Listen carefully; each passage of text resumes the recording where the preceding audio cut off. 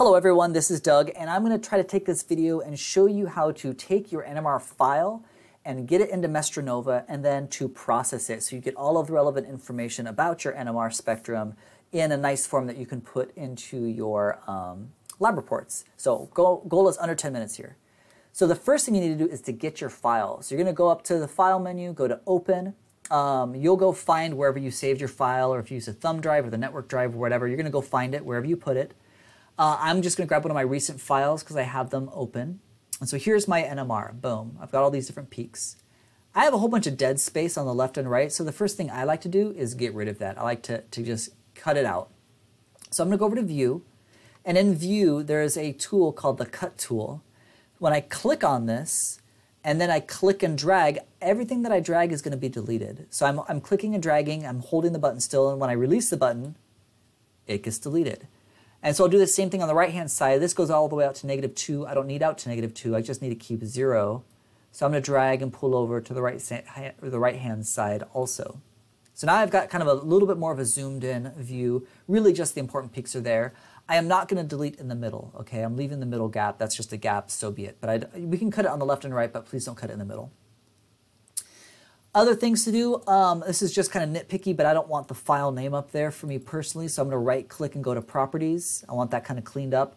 Um, under general, it has the title. I don't want the title, so I'm going to I'm to unclick that box, press apply. Now it just kind of cleans it up for me a little bit.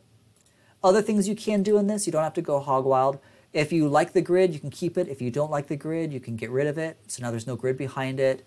The scales, we don't really care about the vertical scale, so we can just like get rid of the vertical scale. We just really need the bottom scale. So you got, again, kind of like a cleaner looking NMR here. Now, first thing we need to do before we start processing is to reference this sucker. So I, you go to analysis, we're gonna go over to reference, and what you do is you hover over a peak and you tell the software what the solvent was that you used for your NMR. It doesn't know if it was chloroform or deuterated uh, DMSO or acetone or whatever. But I know that I used chloroform for this. So I'm going to click on this peak, which is near 7.24. Chloroform is usually given 7.26 or 27. So I'm going to click on this and reference it. So it's going to shift all the peaks so that chloroform is exactly where it's supposed to be.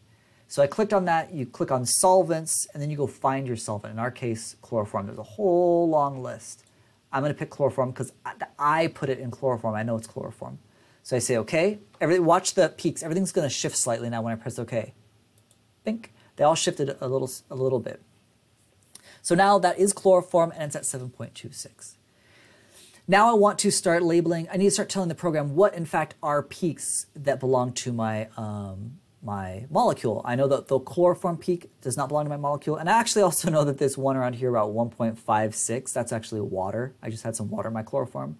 Uh, I know that that's not part of my, my molecule, but everything else is. So I'm going to go, I'm still in the analysis tab. I'm going to go over to peak picking. You can try auto peak picking. Sometimes it grabs things you don't want, or you can use a threshold, or you can grab them manually.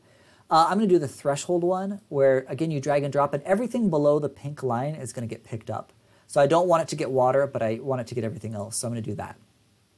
And then it tells you where everything is. So you can report these values as being, oh, this is at 7.92 versus 7.90. So I've got some peaks picked. Great. I also need to integrate, right? Remember that the integrations are the areas underneath those curves. We can integrate these so that I know what the ratio of the hydrogens are in all these signals.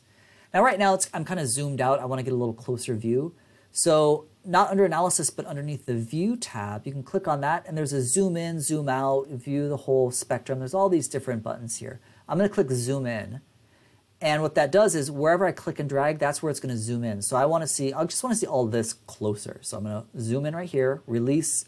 That's my NMR spectrum much, much, much closer. Now that I can see it better, I'm to go ahead and do these integration things. Again, you can use auto integrals that do the auto integration, but um, sometimes it's not great. I like to just be real. I like, you know, I like, I'm a control freak. I want to do it the way I want to do it. So I'm picking over here this button, which is to do it manually.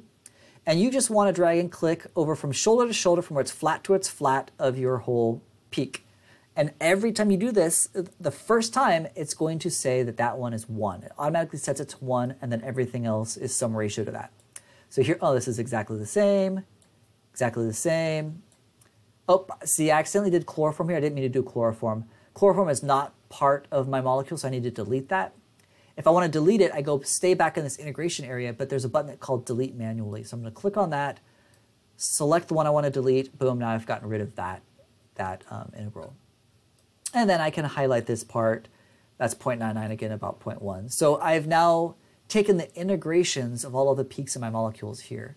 But I have more, I need to zoom back out. So if you go back up to your View tab, you can click Zoom Out, or you can click the Full Spectrum button. I'm going to click on the Full Spectrum button so I can see the whole spectrum again.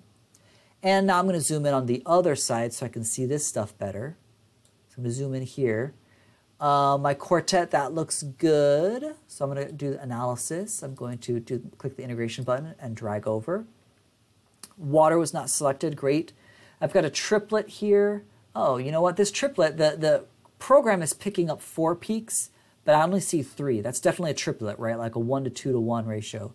So I'm actually going to fix that. Um, I'm going to go to zoom in on just this. What peak is it picking up? It's accidentally picking up a peak over here, but I don't think it should. So what I'm going to do is I'm going to delete that peak. So I'm going back over to analysis. For going over to the peak part, it says delete peaks right here, manually delete. And I'm just going to delete that peak here. That's, that's not really a peak. There we go. So that peak is selected, that peak is selected, that peak is selected. That all looks good now. So back to view, I'm going to zoom out. Just want to look at these friends again. And that looks like the last integral I need to do is the one I just fixed, that triplet. So that looks like a 3H triplet. So I've done the integrations, I reference it, and I, now I know the peaks, where the, the ppms, where they all show up. I'm to go back out to this full spectrum here. And then still an analysis. So I also want to know, like, the, the instrument will tell me, like, do you have a triplet? Do you have a quartet? Do you have a doublet? Do you have a doublet of doublets? It'll tell you all of that information. And all you have to do, once you've gotten this far, all you have to do is just auto multiplet analysis. So you just click on this, and it's going to tell you like, oh, look, this is a doublet. This is a quartet. This is a triplet. So it's just telling you what these peaks are. You know, what's their multiplicity? What's their um, what's their splitting? And then I think the last thing that we will do is have it report these numbers to us. And so I'm still in this multiple analysis part. If you click on this little pink square and hover over it, it says report, report multiplets.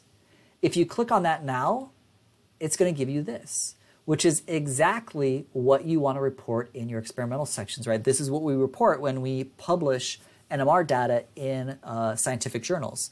You're going to have HNMR. Um, I used a 600 megahertz for this one. You're going to use a 60 megahertz. Chloroform was my solvent. And then it's going to tell you, right, where's the peak? It's a doublet, some coupling constants, and then it's a 1H peak. And then it goes on. That's a doublet of doublets. That's a 1H peak. This very last one is a T for triplet, it's a 3H peak, right? So you're just, gonna, you're just going to report all of this.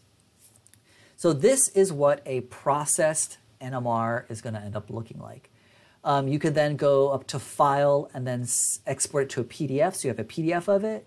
You can go and print it in lab, but you definitely want to have a copy of this. I recommend you save it as a PDF and you print a hard copy for yourself so that you can report this in your lab. And that is how you process your NMR using MestreNova.